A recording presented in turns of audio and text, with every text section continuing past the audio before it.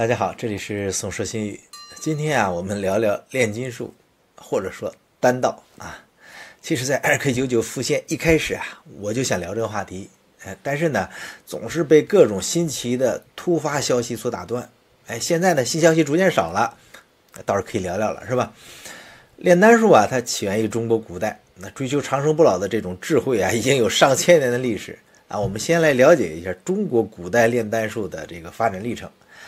在战国时期啊，这个丹术的萌芽呢就已经出现，哎，道家就提出了服气至清的这个主张，啊，这是后世啊内丹思想的这个源头。那到了汉武帝时期呢，长生不老成了当时许多皇帝的梦想，哎，为丹术的发展呢就提供了土壤。到了魏晋南北朝时期啊，丹术家就将道家思想和炼丹术结合起来，提出了炼精化气。哎，炼气化神这些属于内丹思想，奠定了内丹学的基础。到了唐代呢，丹术就进入繁荣时期啊，代表人物像啊吕洞宾呐、陶弘景啊。到宋代呢，是丹术的鼎盛时期，许多的文人学士啊都喜爱炼丹，呃，丹书啊也大量出现。到了明清时候啊，丹术衰落，当然还是有所发展。那历代丹术家呢，都留下了大量的，啊，关于丹道和内外丹法的这个著作，啊，中国古代的丹术呢，主要分为内丹和外丹两大系统。内丹呢，是以人体为丹气，以气为药，通过内视、导引、呼吸啊这些方法，达到精气神合一、返老还童的目的，是吧？外丹呢，它是以实验为主，哎，通过取药炼制丹药来达到长生的这个目的。那两者在理论和实践上都有所不同的。但都共同追求长生不老的目标。当然啊，和现代医学相比，中国古代的丹术，你不要说长生不老，命往往都不保啊。历史上，凡是喜欢喝丹药的地方，几乎全部短命。你像东晋的晋哀帝啊，司马丕，他喜好这个黄老之术啊，年纪轻轻就开始服用所谓的仙丹，活了二十五岁。那北魏的开国皇帝拓跋圭啊，因为丹药呢，被儿子杀死啊。年仅三十九岁，在道教大行其道的唐朝啊，唐太宗李世民呐，唐宪宗李纯，唐穆宗李恒，唐武宗李炎，哎，唐宣宗，呃，李丹吧，全因服用仙丹，或者性情大变，或者就被人杀死，或者呢直接被丹药毒死。到了明代啊，这个朱家人还是喜欢嗑丹药的啊。明光宗朱常洛啊，刚当上皇帝就因丹药而死。那到了清朝啊，康熙帝和乾隆帝都很长寿，只有雍正帝是早早就死了。后世研究的时候，服用丹药也是他死因之一。那他还写过一首烧丹诗，哎，千沙和药物，松柏绕云潭啊，炉运阴阳火，攻坚内外丹。那咱更别说魏晋啊，南北朝那些喜欢所谓寒食散的那堆人，没几个长寿的啊。所以现在我们都明白，所谓的丹药啊，其实包含了许多的这个重金属啊，大量服用对人体是毫无益处。但是在这种长生的诱惑下，哎，怕死的帝王们仍然如飞蛾扑火的去去嗑药。哎，但是你要说这个炼丹术没有一点可取之处吗？也不尽然啊。比如说中国古代的丹术啊，它蕴含了一些。哎，你可以说丰富的哲学思想啊，它将道家阴阳五行思想和自身的这个理论结合啊，强调天人合一，是吧？与道法自然啊啊，这个丹术中那些常见的这些含蓄抽象的哲理啊，需要丹者通过修行悟道等等。从文化上看啊，丹术呢也启发了中国画、文字、丹药这些领域的发展，医药啊发展啊，他把这个科学和艺术充分结合。那开创了独特的这个丹道文化。那看到这儿啊，你可能会说：“嗨，这有啥呀？我又不嗑丹药，对吧？”哎，你先别急，有个东西，你可能每天都在按时服用，到时候要是没给你拿出来，你可能会骂娘，而且有明显的上瘾症状。哎，猜出是什么了吗？就是目前啊大行其道的中国网络玄幻小说。中国现代网络玄幻小说中的这个炼丹系统和炼气升级体系啊，其实也是多少参考了部分道家的这个丹道文化，然后进行了较大范围的这个虚构和创新。哎，这个创新啊，真不是夸张啊，是逐渐形成的一个创作体系。那看过的朋友都知道是吧？我相信没看过玄幻小说的人可能还比较少。其实呢，和古代的炼丹术啊或者炼气术没有太多实际关联。这些小说呢，只是调用了某些道家的这个丹术名词，哎，创造了各种各样的神秘、玄幻、仙侠或者武侠世界。其中的这个炼丹和炼气系统，就是作者呀这个想象力的产物。这也算是咱们古代丹道文化的一个副产品吧。那在西方呢，炼金术啊起源于古希腊时期。啊，在基督教文化背景下发展成熟，那代表人物有赫尔墨斯啊、啊帕拉塞拉索斯啊这些人，他们进行了大量的实验，留下了很多的重要著作。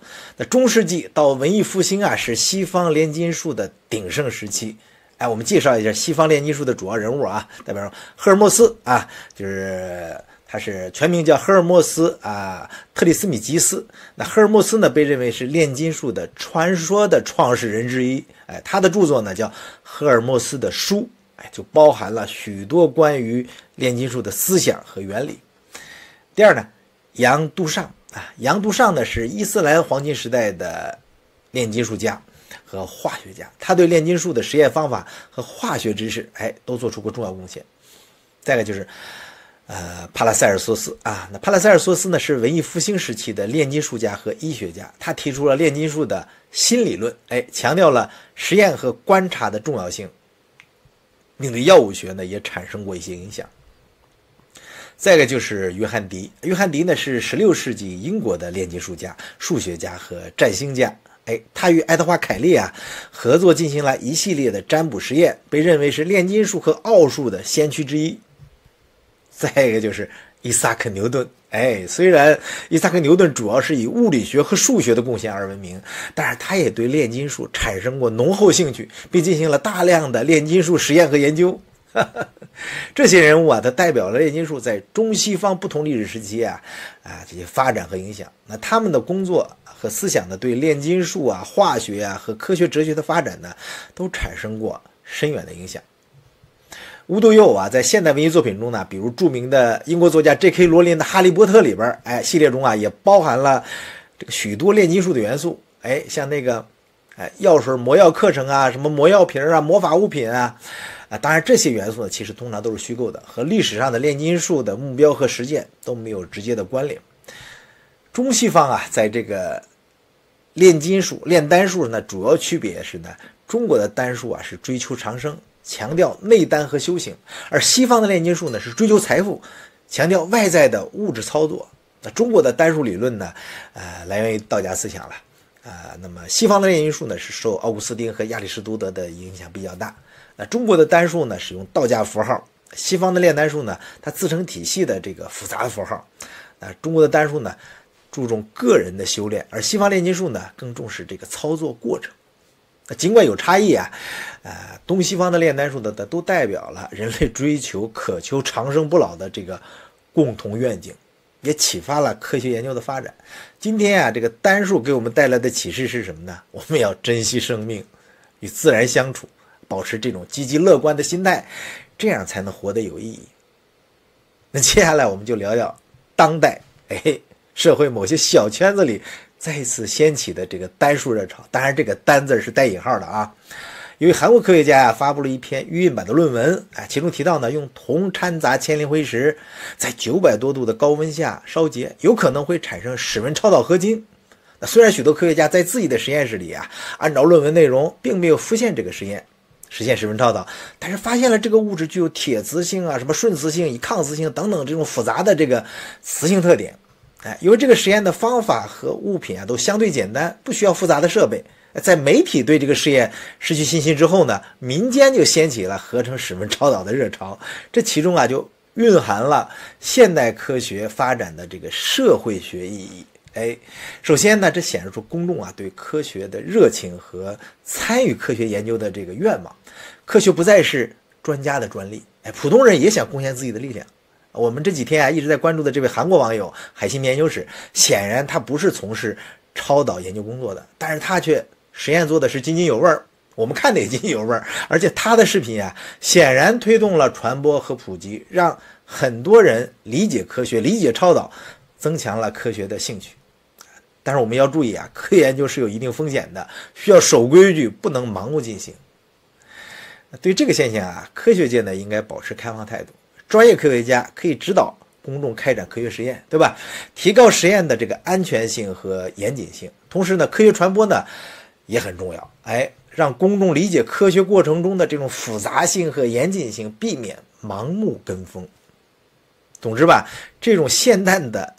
炼丹热潮啊，就体现了公众参与科学的热情，也提供了增进科学传播和科学普及的机会。哎，这个呢是要感谢这个视频平台的。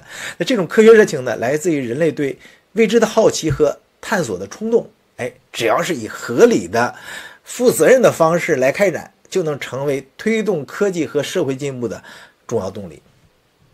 最近啊，高丽大学的那个全教授啊，在课堂上又语出惊人了。LK99 带来了开天辟地的影响，普通人啊，可能要慢慢习惯这样的惊吓或者惊喜带来的这个高科技时代。哈 哈好吧，让我们啊共同关注、参与这个科技创新，哎，为人类的文明啊写下自己那一笔，对吧？今天我们就分享到这儿，感谢大家的耐心收听。呃，祝各位啊，丹道修行进步，天天向上。这里是宋说新语，一个关注科普的小频道，希望大家呢订阅、呃点赞、转发。咱们下次再见，拜拜。